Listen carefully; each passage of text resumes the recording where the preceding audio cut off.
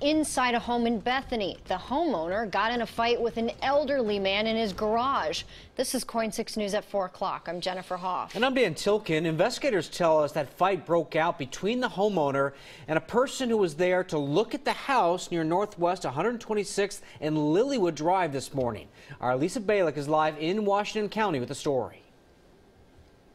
Well, this is a popular time of year for homes to go on the market. The sun's out, the yards look beautiful, but what happened here at one house today, not so beautiful, according to law officers.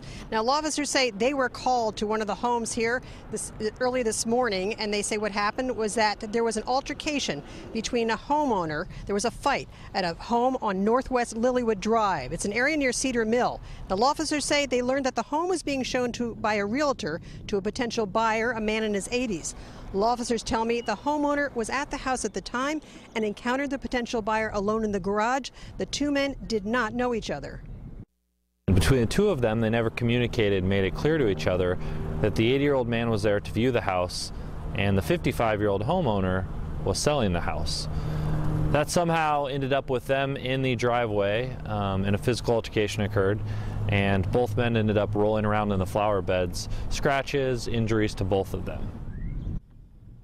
Law officers tell me the man in his 80s had driven off by the time law officers arrived at the scene, and he drove himself to the Beaverton Police Department to report the situation. Now, no one has been arrested, and law officers are still working to figure out exactly what happened that led to the fight. The realtor for the home did not want to comment when I called them today, and when we talked to neighbors, they tell us they didn't realize that anything had happened. Live in Washington County, Lisa Balick, KOIN 6 News. That is strange. All right, thank